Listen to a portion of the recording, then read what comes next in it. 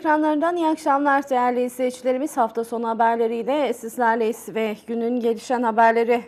Çanakkale'de trafik kazasında bir kişi öldü, bir kişi de yaralandı. Çanakkale'nin Ayvacık ilçesinde yön levhasına çarpan motosikletteki iki kişiden biri hayatını kaybetti, diğeri de ağır yaralandı. Alınan bilgiye göre Emre Aydın'ın kullandığı 17 SU 229 plakalı motosiklet Çanakkale-İzmir karayolunda yön levhasına çarptı. Çarpmanın etkisiyle yol kenarına savrulan motosikletin sürücüsü Aydın olay yerinde yaşamını yitirdi. Aydın'ın cesedi Ayvacık Devlet Hastanesi morguna gönderildi. Kazada ağır yaralanan Murat İskamkaya Çanakkale Devlet Hastanesi'nde tedavi altına alındı. Kaz Dağları oksijen depomuz Çanakkale'nin Kaz Dağları ile ünlü Yenice ilçesini anlatan fotoğraf sergisi Ankara Kızılay metro durağında açıldı. Çok kıymetli Yozgat vekilimiz, Sivas vekilimiz, Ankara ama Çanakkale vekilimiz, Gazi Dernek amcamız, Adana vekilimiz, Çanakkale vekilimiz, çok kıymetli genel müdürüm, hanımefendiler, beyefendiler, özellikle Yenice sevdalıları, hoş geldiniz, sefalar getirdiniz. Çanakkale'miz belki birçok ilden farklı olarak çok farklı dinamikleri kendi bünyesinde barındıran özel bir şehir. Tarihiyle, kültürüyle, turizmle bambaşka bir kent.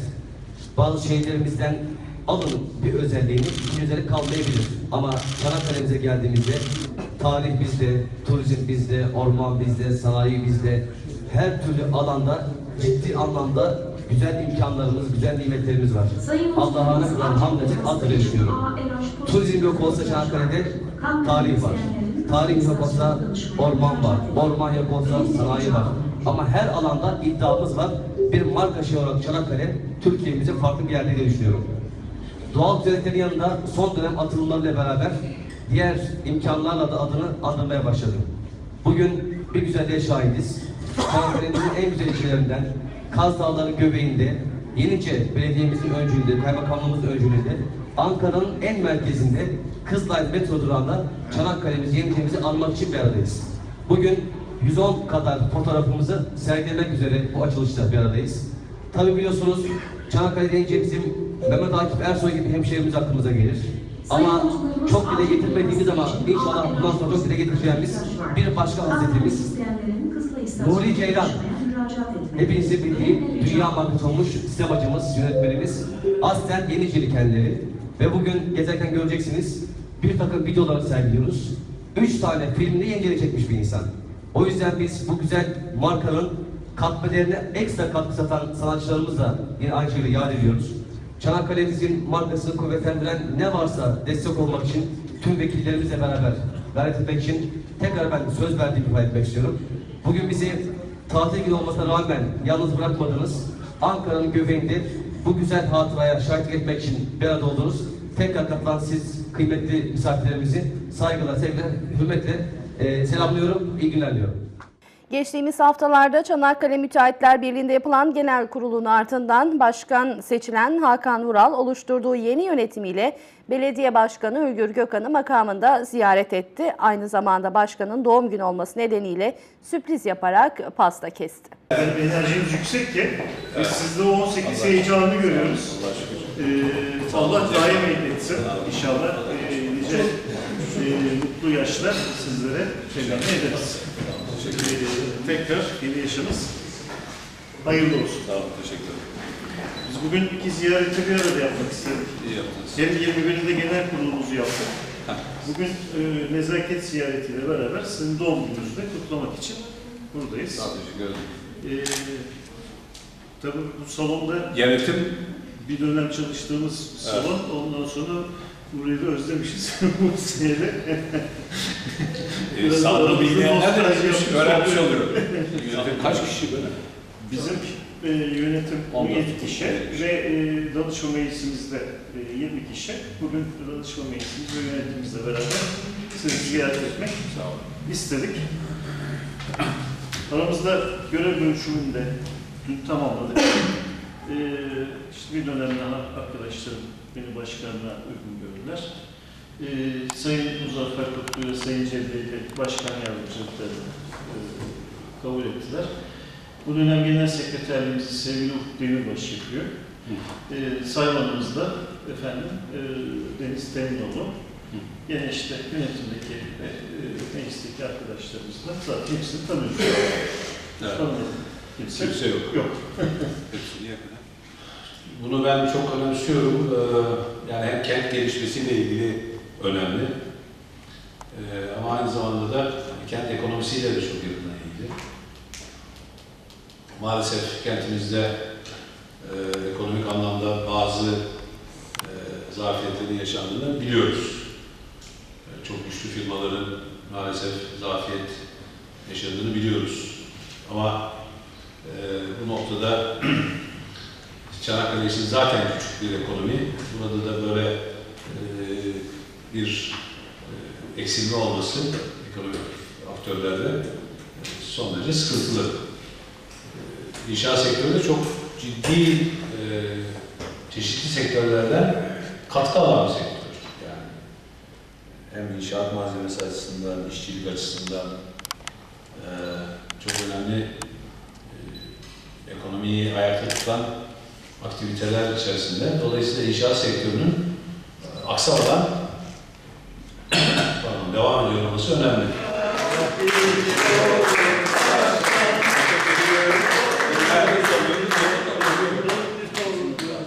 Evet, dilek, dileğimiz şu. Eee ülkemizin bir an barışa kavuşması, eee, acılardan arınmamız ve kentimizde huzur ve barış içerisinde yaşamamız. En büyük dileğim bu. İnşallah o günleri en kısa zamanda görürüz. Evet, Hadi hayırlı olsun. Sağ olun. Halk su perdesini istemiyor. Çanakkale Kent Konseyi Marina Çalışma Grubu Grup Sözcüsü Cavit Kocaman düzenlediği basın toplantısı ile su perdesi hakkında oluşturdukları rapor hakkında bilgiler verdi. Çanakkale Kent Konseyimizin Marina Çalışma Grubu olarak Çanakkale Belediyesi'nin kontrol kordonundaki su perdesinin kaldırılması ile ilgili açıklamasını basından öğrendik. Bu konuyla ilgili olarak hazırladığımız aşağıdaki metninizin kamuoyuna duyurulmasını siz değerli basın mensuplarına rica ediyoruz.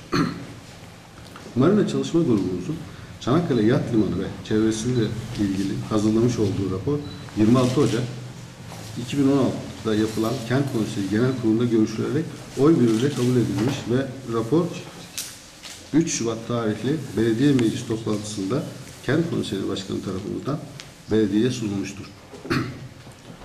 Grubumuzun hem denizcilik sektörü hem de turizm sektörüyle yakından ilişkili olan yat limanının irdelenmesinde yalnızca yatçıların tespit öneri talepleriyle yetinmemiş bir gezinti ve seyir alanı olan kordonda kordon boyu ve iskeleye uzanan yakın çevresiyle birlikte ele alınarak incelenmiş ve değerlendirilmiştir. Konuyu bu kapsamda ele alan çalışma grubumuz kentimizin doğal çevresi ve kıyısıyla en gözde yerlerinden olan kordon bölgesinde denize yerleştirilen ve su perdesi olarak isimlendirilen demir yığınının çevreye verdiği çok boyutlu kirlenmeye ve raporunda dikkat çekilmiştir. Kent Konseyi Marina Çalışma Grubu raporunda çevresel kirlenmenin ve kirlenmeye yol açacak girişimlerin kesinlikle önlenmesi, örneğin su perdesi ve iskele içindeki led ekran ifadesiyle su perdesinin kaldırılması gerektiği gerekliliğine demir yığınının yarattığı kirlilikten dolayı dikkat çekmiş ve başta söylediğimiz gibi bu önerilerimiz de dahil olmak üzere raporumuz genel kurulda oy birliğiyle kabul edilerek belediyeye iletilmiştir. bu nedenle biz Marina Çalışma Grubu olarak belediyenin su perdesi denilen demir yığının kaldırılması ile ilgili girişimini çok yerinde ve gerekli bir adım olarak görüyor, destekliyor ve teşekkür ediyoruz. Çanakkale Kent Konseyi Marina Çalışma Grubu Sözcüsü Cavit Kocaman. 4 yıl sonra kana kana su içti. Çanakkale'de 4 yıldır böbrek yetmezliği bulunan Engin Erdoğan, Çomu Araştırma ve Uygulama Hastanesi'nde yapılan organ nakliyle eski sağlığına kavuştu. Erdoğan operasyonun ardından kana kana su içti. Evli ve bir çocuk sahibi 54 yaşındaki Engin Erdoğan, 4 yıl evvel yakalandığı böbrek yetmezliği sebebiyle İstanbul, İzmir ve Bursa gibi büyük illerde böbrek nakli bekledi.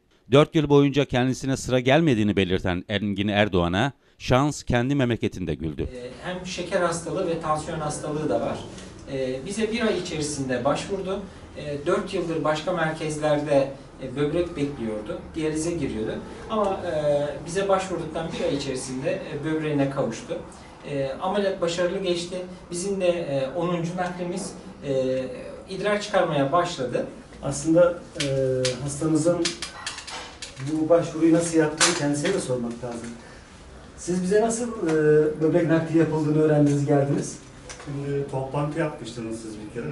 Şeyde hastanede öte tarafta. Evet. Orada da Evet. konuşmalardan etkilendik. O konuşmaları nereden duydunuz? Siz katıldınız mı toplantıya? Katıldınız. O toplantıya nasıl geldiniz? Bize haber verdi. Haber verildi değil mi? Kim haber verdi size? Yani nereden haber geldi? Hastaneden. Hastaneden. Buradan. Biz size ulaşıyoruz değil mi? Evet. Yani sizi bilgilendiren bizleriz. Biraz bu konuda da medyaya, sivil toplum örgütlerine Düşüyor. mutlaka ihtiyacımız var hastalar için. Biz burada bu şekildeki bu merkezi en iyi şekilde çalıştırmak istiyoruz. Hastaların da bundan haberdar olması lazım. O zaman burada şey yoktu organ nakli. Başka yerde müracaat ettik. Sonra burada bir toplantı yaptılar. O toplantıda etkilendik. Geldik buraya dire- şey yaptık. Kaydını buraya aldırttık. Bir ay içinde de böbrek çıktı şu anda mutluyuz. Gece saat üç buçuk civar, civarında geldi. Ondan sonra geldik buraya işte. Akşam üzeri tak, taktılar.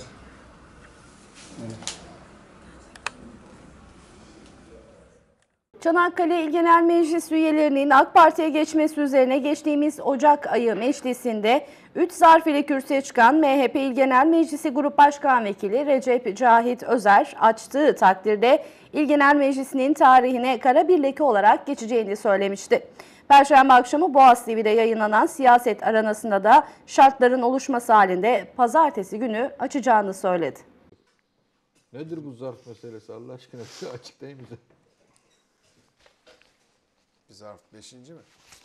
Üç tane zarfımız var. Böyle bir numara, iki numara, üç numara. Evet. Padişah. Arkalarda imzalı. Evet. Bu zarflar tabii şu anda e, 4 Ocak tarihli İl Genel Meclisi'nin birinci oturumunda göstermiştik.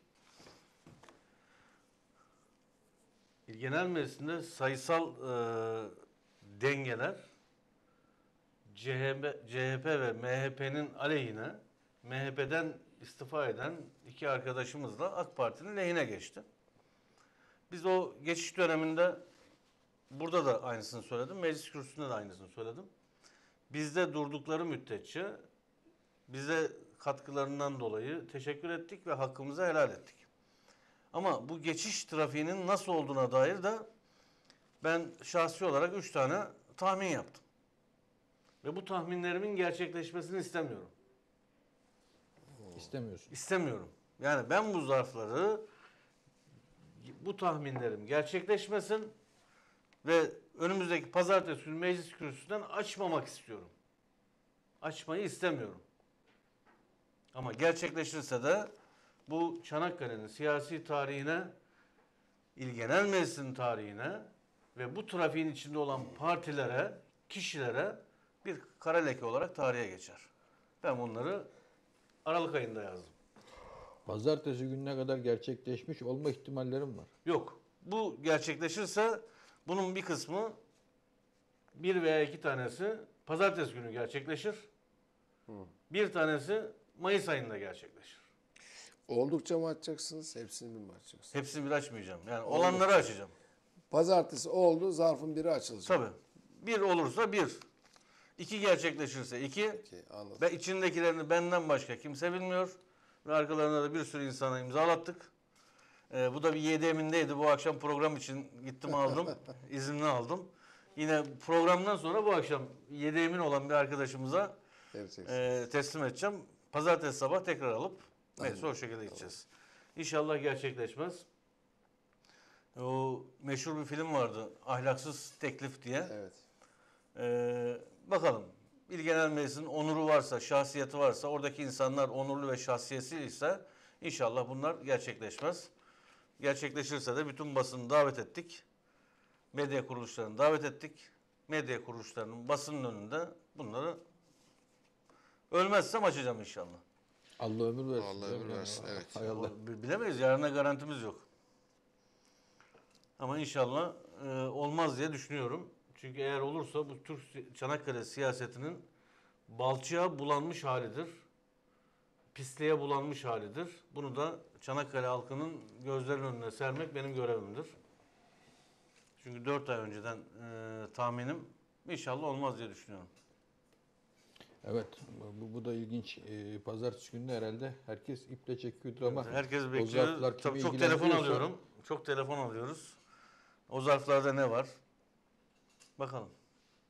O zarflarda ne varsa kendisini ilgilendiren kişiler zaten ne olduğunu az çok tahmin ediyordur hatta biliyordurlar. Bilemiyorum. Bakalım. Pazartesiyi bekleyelim. Ne diyelim o kimi ilgilendiriyorsa Allah onlara kolaylıklar versin. Boğaz TV Çanakkale halkının nabzını tutmaya devam ediyor. Hükümetin bütçe planlaması kapsamında gıda maddelerindeki KTV oranının düşürülmesi konusunda toptan ve perakende sebze ve meyve oranlarındaki düzenlemeyi Çanakkale halkına sorduk. Bakın nasıl cevaplar aldık.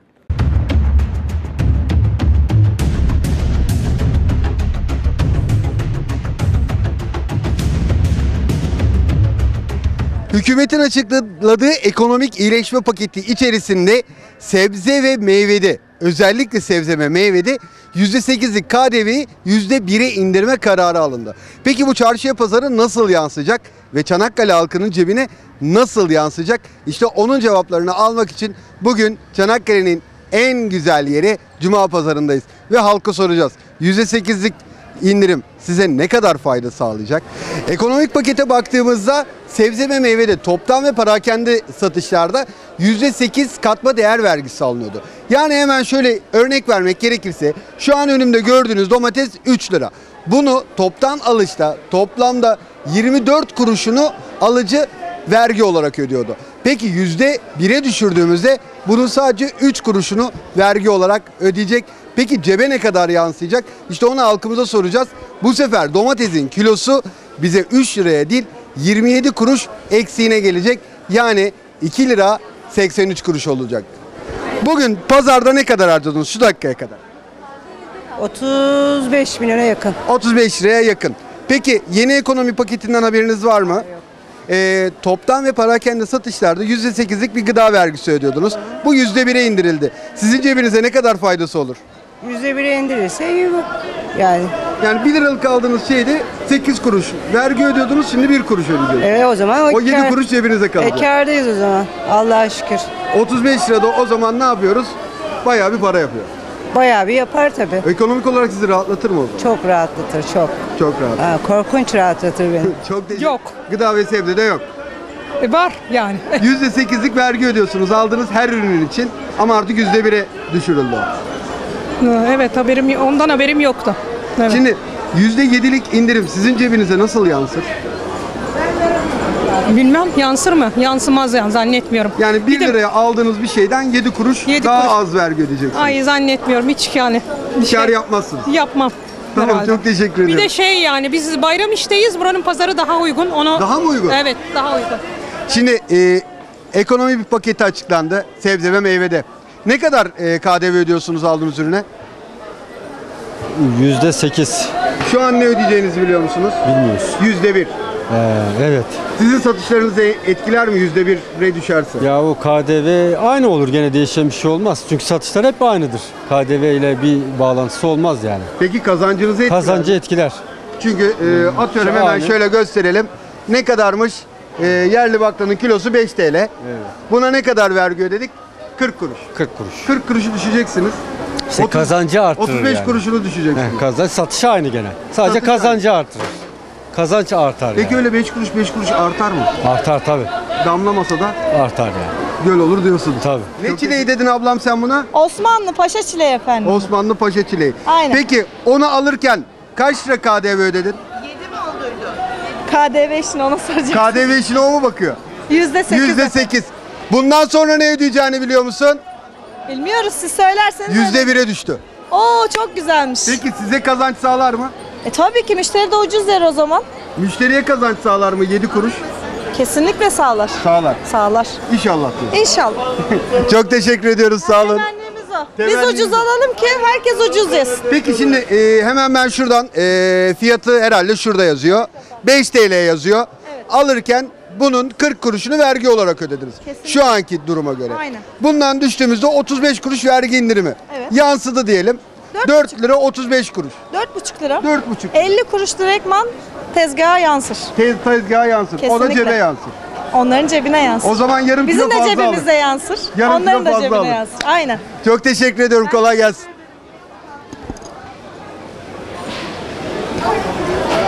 Abicim adın ne? Rafet. Rafet abi ne kadar tuttu yengenin gelmediği pazarda?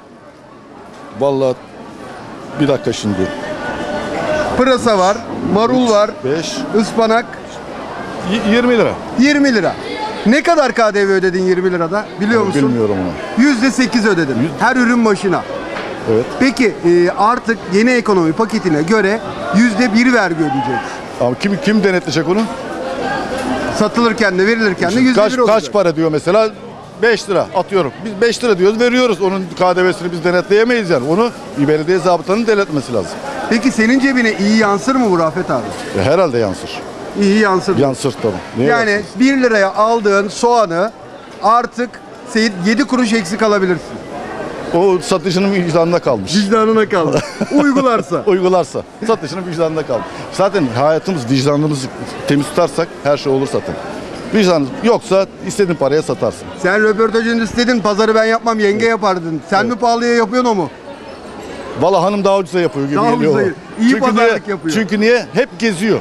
Ben gezmem. Nerede ba- baktım kafama göre alırım çeker giderim. Ben onlar tek tek tezgahları geziyorlar. Bu işin uzmanı kadınlar. Evet. Teşekkür mutfak, ederiz. mutfak kadınlardan sorumlu.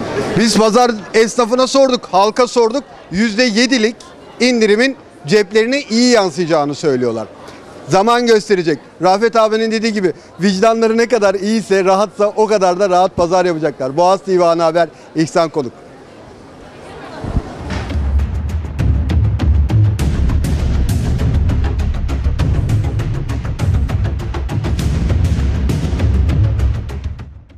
Çanakkale'de kaçak geçiş operasyonları devam ediyor. Ayvacık'ta yasa dışı yollardan Yunanistan'ın Midilli Adası'na geçme hazırlığı yapan 45 yabancı uyruklu yakalandı.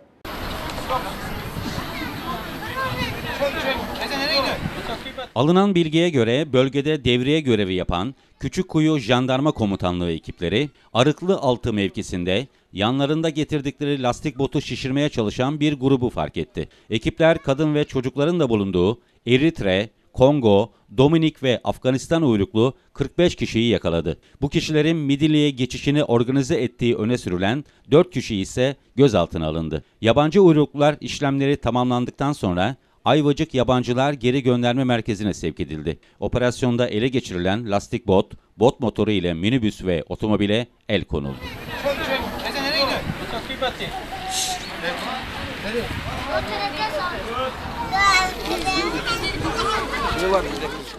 Değerli izleyicilerimiz günün gelişen haberlerini sizlerle paylaştık. Yarın akşam tekrar buluşmak ümidiyle mutlu kalın, umutlu kalın ve Boğaz TV ekranlarından ayrılmayın. Bizi izleyin, haberiniz olsun.